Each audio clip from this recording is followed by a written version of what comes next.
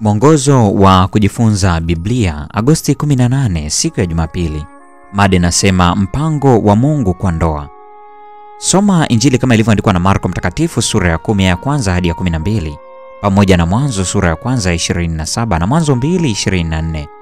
Ni mtego gani ulikuwa umejificha chini ya swali la Mafarisayo kuhusu talaka, na ni somo gani Yesu alifundisha katika jibu lake? Katika aya hii Mafarisayo wanamuuliza Yesu ikiwa ni halali kwa mwanamume kumwacha mkewe. Miongoni mwa Mafarisayo, talaka ilionekana kuwa halali.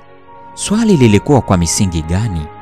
Wafuasi wa Shammai kwa hoja inaonekana walikuwa na masharti zaidi: kwa kukosa mtoto tu, kutotunzwa kimwili, kupuuzwa kihisia au kukosa uaminifu katika ndoa.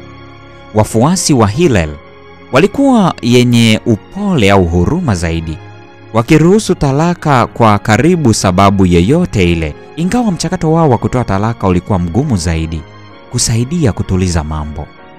Kwa hivyo inawezekana kuonekana kuwa si kawaida kwamba wanamuuliza Yesu swali la jumla ikiwa talaka inakubalika kabisa. Chini ya swali hili ilijificha njama ya kumtia Yesu matatizoni na Herode Antipa, mtawala wa eneo la mashariki ya Yordani. Yesu alipokuwa kwa wakati huu, Antipa alikuwa amemtaliki mke wake na kumwoa Herodia mke wa kaka yake. Herode alikuwa amemkata kichwa Yohana Mbatizaji kwa sababu ya kumkemea kwake uhusiano huu haramu. Tazama Mathayo 14 ya kwanza hadi ya 12.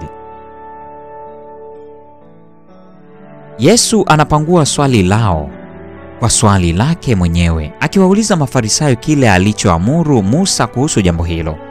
Kifungu kinachorejelewa na Mafarisayo katika kujibu ni Kumbukumbu la Torati 24 aya kwanza hadi ya 4, kinachoelezea kisa fulani cha kuoa tena baada ya talaka. Waisraeli katika siku za Musa walikuwa tayari na desturi ya talaka. Sheria ya kawaida inayoelezewa katika Kumbukumbu la Torati 24 ilikusudiwa kutoa ulinzi kwa mwanamke, lakini katika siku za Yesu hili lilipotoshwa na wafuasi wa Hillel ili iwe rahisi kupata talaka kwa karibu sababu yeyote. Kwa hivyo, sheria iliyokusudiwa kumlinda mwanamke ilikuwa inatumiwa ili iwe rahisi kumsukuma kando. Badala ya kujadili sheria ya kawaida katika Kumbukumbu la Torati 24, Yesu anarejelea tena kwenye kanuni ya Mungu ya awali kwa ajili ya ndoa katika Mwanzo mmoja na mbili. Anabainisha kwamba hapo mwanzo Mungu alimuumba mwanamume na mwanamke. Tazama Mwanzo moja 27, watu wawili.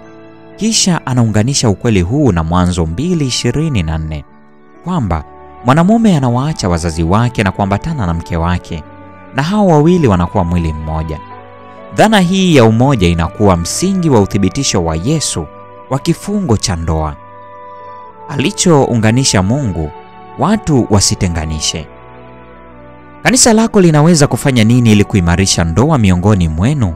Utawasaidiaje wale ambao ndoa zao tayari zimesambaratika?